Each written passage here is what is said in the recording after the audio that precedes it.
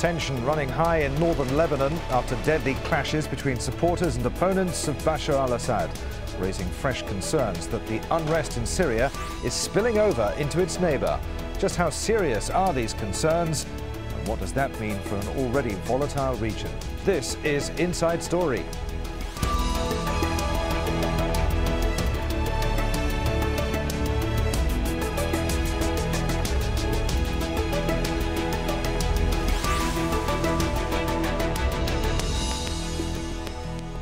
Hello and welcome to the programme. I'm Adrian Finighan. Lebanon is now feeling the impact of escalating violence over the border in Syria. At least three people were killed and dozens injured after skirmishes turned violent in the northern Lebanese city of Tripoli on Saturday.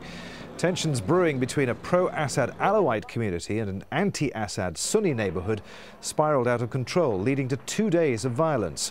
This, as activists say, hundreds of civilians were killed in the newest escalation of violence by Syrian government troops in the city of Homs. A bomb attack in Aleppo also killed 28 people. No one has yet claimed responsibility for it. It comes as the international community considers a new Saudi resolution to pressure the Syrian government following a double veto of a UN draft calling for action last week. Our correspondent Sue Turton was in the Lebanese city of Tripoli and sent us this report. The military set a deadline of a ceasefire for the two communities, the anti-government Syrian government regime on this side and the pro-government regime just about 100 metres along from this street over there. But we're still hearing gunfire and explosions since that deadline was passed so that it looks like it's not having any effect. And just to give you an idea of how close this gunfire these grenades have got, at six o'clock this morning, two RPGs went through the wall of that flat on the second floor where I'm told by the family that 10 children were sleeping. Mercifully, they are all absolutely fine. You can see by the huddle of people here on this side of the street that they have to hide behind buildings that can't be seen by the snipers. If you go across to the other side of the street, I'm told that the snipers from up behind us can possibly see us and there is a risk that you might be hit by a sniper's bullet. And even to get here we had to run through alleyways and streets further out of the residential housing estate. We were told that if we didn't run we could well be hit by a sniper's bullet. People here are hoping that the, those that are firing their weapons may well listen to local leaders who are saying please put down your weapons and let's start talking so, is the unrest in Syria spilling over into Lebanon? For more on this, we're joined by our guests in Lebanon. In Beirut, Kamel Wazne, a political analyst. Also in Beirut, Elias Hanna, a military and political analyst. And in Tripoli, Mustafa Allouch, a member of the Future Movement. Gentlemen, welcome to you all. Mustafa Allouch, we'll start with you uh, first. How would you describe the mood in Tripoli today? This uh, has been a tradition in Tripoli over the last some uh, seven years and uh, probably it started before in 1976 in the beginning of the Syrian occupation of, the, of Lebanon.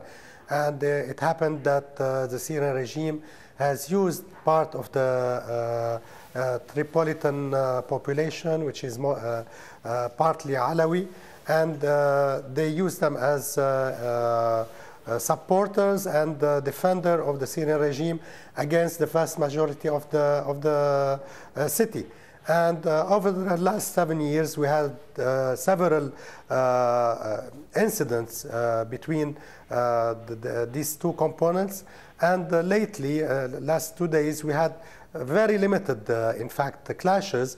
they are not similar to what we have seen before, but it means that the tension is still there and uh, uh, the, the, usual way the Syrian regime has uh, used over the last uh, several years is still present and a potential threat for the lives and the security of the uh, people in Tripoli. If the tension is still there, is there a danger, do you think, that there could be further violence? Can the Lebanese army keep a lid on it? Well, the Lebanese army can limit or uh, control partly uh, or at least 90 percent uh, the, the possibility of uh, uh, clashes uh, that um, may recur.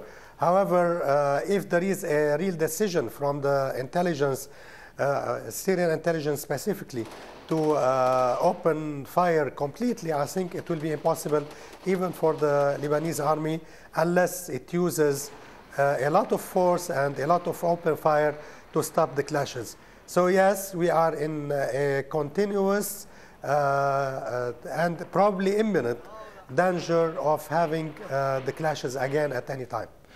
Uh, Elias Hanna, in uh, Beirut, we heard a little there from Mustafa about what perhaps lay behind the weekend's violence. Why Tripoli? Tell us, in, in your words, uh, about the, the socio political makeup of, of the population there that made it particularly ripe for violence. I think there is many levels to study or analyze the situation in Tripoli. If you go to the social political issues, for instance, you have two sides, rural, when you have high rate of birth, when you have high rate of unemployment, and you have political affiliation. Uh, yesterday, uh, Rifat Ali Eid uh, said it clearly that he is affiliated to the regime in Syria, to President Assad, he is affiliated to Secretary General Hassan Nasrallah, and then to Ahmadinejad, the president of Iran, as well as to the axis of resistance. However, in this particular uh, political affiliation, if you take it into consideration, the line dividing uh, the Sunni line, where you have Salafi, and when you have, you know, the Alawi from the other side, keeping in mind the historical events and problems that have occurred since, you know, 1976 and especially in 1983. So within this perspective, this is like an indicator. This is like, you know, uh, a consequence for what's going on in Syria. Why? Because I think that the Alawi extension, the Alawi demographic extension in Lebanon goes from the you know, uh, southern of Syria or northern of Lebanon into Akkar, which is, you know, a middle area between Tripoli and uh, Syria, and as well as uh, to Tripoli. Within this perspective, I think everything is related to everything, and uh, why not else uh, outside Tripoli? Because this Tripoli has a particular constituencies that is totally related to what is going on in Homs and uh, Idlib and Syria overall. Kamel Wazne, I want to, to, just pick up on, on something that, uh, that Mustafa was saying a few moments ago when he said that uh, the, the Syrian regime could have been behind uh, what happened in Tripoli at the weekend. Could uh, the, the, Syrian regime intentionally foment uh, violence, stir up trouble in, in Lebanon? What would be the, the benefit of doing so? I think it's the opposite is correct. The Syrians have no interest whatsoever to instigate any violence in Lebanon. Actually, some people were mad because the, the army, the Lebanese army, stood at the border and start stopping the uh, smuggling of weapons from Tripoli into uh, area into Syria. I think some people didn't like that. They starting to uh, shooting in Tripoli and they started that chaos in the in the past two days and not to mention because some people were mad because the Prime Minister Mikati made a successful visit to France. Some people didn't like that. But I think at this point, if anything, the Syrian wanted Lebanon to be calm because they think that Homs seemed to be under control, but the Syrian wanted to stop the smuggling of weapons from Lebanon to Syria. And yesterday, the explosion of the, the uh, deposit of uh, military uh, uh, bombs is an indication at the level of smuggling of weapons from Tripoli into Syria. Mustafa Allouch, on, on that note, what does uh, the weekend's violence in, Tripoli uh, and uh, uh the potential for further violence in northern Lebanon mean for those uh, supply routes, not just uh, the military ones, but also humanitarian ones, for humanitarian aid, medicines, and medical expertise? Well, we are already in a hardship. the population, to start with, in North Lebanon Uh, has a lot of economic and uh, uh, uh a lot of unemployment. Uh, so we, we, we are in a real hardship. to add on this, many people, and they are not well-to-do, have to receive a few families, from, refugees from Syria, and they are supporting them with was whatever they can. Now, if we add on all of this, uh, the security and stability, that means that the hardship will be, double or triple or more. And uh, th this is why uh, it's not at, uh, for us, uh, for any interest for us to have any clashes in Tripoli. and in fact, uh, the, what we really need in order to assist our uh, uh, brothers in Syria is to have as much as we can stability in Lebanon uh, in order to give them the best help. Well, Damascus has had uh, a long standing influence on Lebanese politics. So when the Arab League took a stand against the Syrian government in November, Lebanon voted against suspending Syria's participation in the group's activities. It was also ah. the only member state that did not endorse an Arab League plan urging Syrian President Bashar al Assad to transfer powers to his deputy. Syria exerted its control over Lebanon between 1976 and 2005, up until the assassination of Prime Minister Rafiq al Hariri. Damascus has since removed its military presence from Lebanon but still maintains that it had nothing to do with the plot. Meanwhile, some political groups enjoy support from the Syrian government. For its part, Hezbollah now controls the majority of Lebanon's parliament, and it's not too keen on seeing Assad fall from power. Elias Hanna, to what extent uh, could violence in Tripoli at the weekend spread throughout Lebanon? I think when we study the situation, everything in, is contextual in Lebanon. You have to study the, the constituencies of each, you know, each place. Uh, my friend, uh, your guest said that uh, because of the arms smuggling, but Lebanon is accused for smuggling uh, for more than Tripoli and the northern of Lebanon from the Bekaa Valley. Why nothing happened in the Bekaa Valley? Because, you know, the constituencies of Tripoli is something special. What constitutes uh, Tripoli, the social, uh, uh, uh you know, uh, uh, mosaic over there, makes this thing explosive. You know, you have Sunni, and you have Alawi, and you have pro resistance Hezbollah and pro uh, uh, Syrian regime, and you have pro 14th of March and the future movement or the future party, and this exposes one against and one with the regime in Syria. You see, this mixture makes things explosive in, in Tripoli. If you go to other areas, I don't think that you have this mixture. So you have to study each area by itself. For instance, uh, in, in, in, Beirut, during 7th of May 2008, uh, the, the, this, the mini civil war that, or mini sectarian war that occurred in Lebanon because you have these constituencies between the Shia and the Sunni after the assassination of Prime Minister Rafi al Hariri. So I don't think it will spread. However, maybe there is one reason in, in Tripoli. Why in Tripoli? Maybe because uh, we're having this uh, tit for tat between the cabinets and the prime minister. And because the prime minister is from Tripoli, maybe it is a lesson for uh, the prime minister in this particular time, not taking some uh, real stance and, or something major decision concerning the cabinet, concerning what's going on in Syria, go, what's going on in the Arab uh, League, all of that. So I don't think for the time being things will spread uh, outside Tripoli. Uh, Kamel Wazne, the, the Prime Minister in, in Lebanon has adopted a, a policy of disassociation uh, on Syria. His office quoted him as saying uh, in Paris on Saturday that we need to take into consideration the internal divisions in Lebanon. We believe the preferable option is to keep uh, our distance from events uh, in Syria. Is that what he's done, or, or, or are there signs of complicity with Damascus? I think no, the, the prime minister, he tr he's trying very hard to, to make that statement is very uh, implemented, but it's not happening on the ground. The, the political uh, spectrum in Lebanon, the, the, the, office of the prime minister, the president of Lebanon, uh, indicated at the UN they wanted to distance themselves from the situation in Syria. But really, Lebanon does not go by the prime minister and does not go sometime by the president of the country.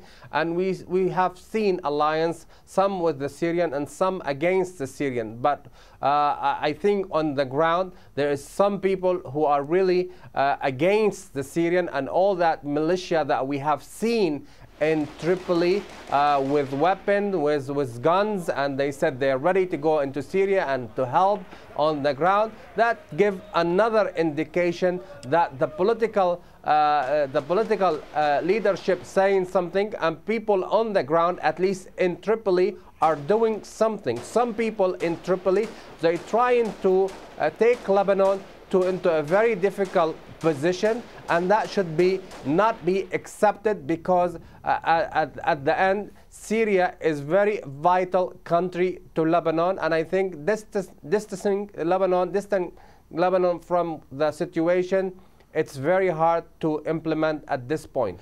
Uh, Mustafa Alushin, in, in Tripoli, let's, uh, let's uh, uh, uh assume for a moment that, that the Assad regime eventually falls uh, and that a Sunni dominated government came to power in Damascus.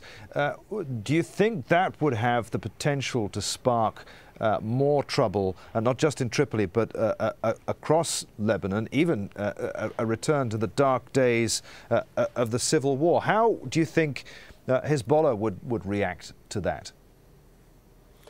Well, this is a really tricky question, and it has probably a Nobel Prize man can answer this question. this depends on several givens. And uh, to start with, uh, I think that the Syrian regime itself has played a very negative role over the last 40 years uh, uh with respect to the Lebanese security.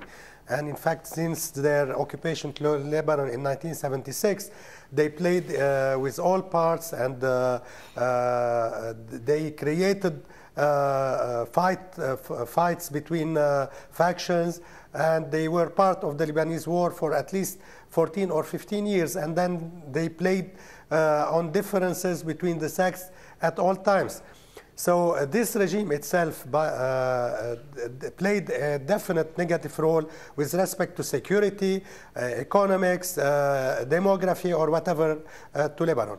We think that the fall of the Syrian regime, irrespective of what comes to Syria, but we hope that democracy will reign Syria, will give us a chance to have better relations with Syria, to have uh, equal and uh, uh cognitive uh, uh, relation with Syria. However, the problem is that Hezbollah has his own agenda with respect to Lebanon and with respect to Syria and probably with respect to all of the Arab and Muslim world. And uh, in the case of the fall of the Syrian regime, their dream of having uh, to extend uh, the the clergy rule or the wilayat al-faqih on uh, a big uh, uh, chunk of the Arab and Muslim world will be definitely well under jeopardy. This is why it depends on how will be the reaction of Hezbollah. Will it be more uh, logical and to come and uh, discuss with the rest of the Lebanese what they want to do with their illegal arms, or they would uh, be more aggressive and try to uh, uh, take over the country. So uh, I'm not sure in the near future what will happen uh, with respect uh, after the fall of the Syrian regime. Let's get the thoughts then of uh, Elias Hanna uh, on, on the same question. Uh, how weakened would, uh, would Hezbollah... Can I, can I yes, elaborate on... By all means, please do. Can I, can I elaborate on something, please? Yes? By all means, carry on. Okay. the problem in Lebanon, you're asking about the fall of the regime in Syria. So in Lebanon, I mean, if you want to think, you know, logically, you have to think about three possible scenarios in Syria. The first one, like the status quo of this one. Today's uh, scenario is the status quo. So this one, if it goes longer than it is today, it will lead to the uh, worst case scenario. And then we have the best case scenario, which I see it, it's a little bit far today. Today in Lebanon, you have a part of Lebanon, because you asked if uh, the fall will influence the situation in Lebanon? Yes, for sure. Because part of the Lebanese people are preparing for the best case scenario for them that the regime will last forever. And they are working accordingly. The other side of the Lebanese party, I mean the 14th of March, and you know, they are thinking about the worst case scenario. And like it is near and it's happening in the future. Nobody in Lebanon is uh, preparing in the middle. What's, what are going to do in Lebanon? In the worst case, the best case, or the status quo? Should we do something and be uh, have certain degree of immunity from what's going to happen from Syria? The uh, uh, ramification from the Syrian fall of the regime is going to be social, political, and economic. Because economy is in Syria, not in Lebanon in general, because Syria is a capital provider. We are consuming. However, in the three possible scenarios, Hezbollah will be affected. Affected in a way. And I think Hezbollah is a highly logical player. Then they are doing now are reassessing the situation. And accordingly, they are planning for the three possible scenarios. What they have to do regionally with the Syrians, the coming of the Syrians, the new regime, you name it, and internally. And this is the way that the, the way I see it for the coming, you know, like uh, months. But the situation in Syria is not imminent. The fall of the regime is not imminent next month, this month, unless there is something catastrophic happens inside Syria. Come on, I want, I want to broaden this out just, just for a moment. So far, we've been talking about uh, Sunni versus uh, Alawite, uh, Shia sect. Uh, of course, Lebanon, uh, made up of, of, of, so many uh, different um, uh, sects, religions. Christians, for instance, Patriarch Bechara al Rai of the Maronite Church warned back in September uh, that the Christian presence in the Middle East could be threatened if Assad falls and that he should be given the, the chance to reform. I mean, on that first point, do you agree? Is he right? I think that's uh, very much uh, uh, on the mark because a lot of people are worried about the emergency of Al Qaeda, and I, I assume that we have a lot of Al Qaeda in, in the north of Lebanon and in, in Tripoli. And we heard the Zawahiri, what he said today, and we have seen people coming uh, from the Arab country and being smuggled through Tripoli into Syria. Uh, I think uh, the, the, the situation, uh, uh, if escalate, uh, this is going to be devastating for Lebanon and for Syria and for the region. And I think if somebody thinks the regime of Bashar al-Assad can collapse that easily, I think we will have regional war before that will happen.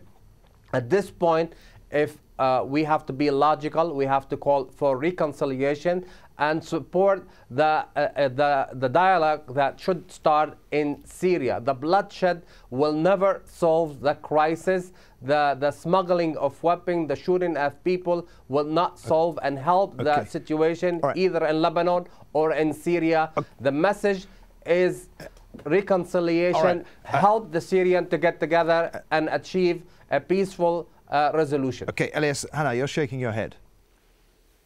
Yes, I mean, I mean, uh, usually when we talk about Al Qaeda, what Qaeda are we talking about? You know, we have different Al Qaeda after 9 11. We have Al Qaeda, centralized Al Qaeda, and prior to 9 11, when we had, you know, Al Khubar, when we had USS Cole. After 9 11, we don't really have Al Qaeda. Al Qaeda became regionalized, you know, regionalized as a region in Al Iraq, Abu Mus'ab al Zarqawi, uh, Al Awlaqi in Yemen, in uh, uh, Morocco, Al Maghrib, the Arabic Al Maghrib. Now, when we talk about Al Qaeda, it's not Al Qaeda that we used to be. I think I am from the north. I am from Akkar, you know, like near Tripoli. And I know that when you want to have Al Qaeda, you need a safe haven for Al Qaeda. And I don't think that the Sunnis in Lebanon are really supportive of Al Qaeda. Maybe there is some exception of it, you know. Let's take, for example, uh, the, the, the future movement. It's like liberal, believing in, you know, in democracy and everything. It's not, it doesn't fit with Al Qaeda. So when we talk about Al Qaeda, Al Qaeda is something different. If you go to Fort Hood in, in, in Texas, in, in the United States of America, the major that he, you know, uh, out, he came out of nothing and killed like 17 people of his, you know, uh, uh, uh peers within the uh, uh, military base. So Al-Qaeda is totally different today. However, at the Lebanese scene, we have to be ready for all the possible scenarios. Okay. You know, the Alawi are Lebanese, are Lebanese citizens, so we have to take care about them. Okay. Gentlemen, uh, I'm afraid we're out of time. I know that Kamel wanted to come back, but uh, we, are, we have to finish the programme. Thank you to all my guests in Beirut, Kamel Wazne, also in Beirut, Elias Hanna, and in Tripoli, Mustafa Allouch. And thank you very much indeed for joining us on this edition of Inside Story. If you want to send us your feedback, please email us your thoughts at insidestory at aljazeera.net. Thanks for watching. From me, Adrian Finighan in Doha, I'll see you again. Bye for now.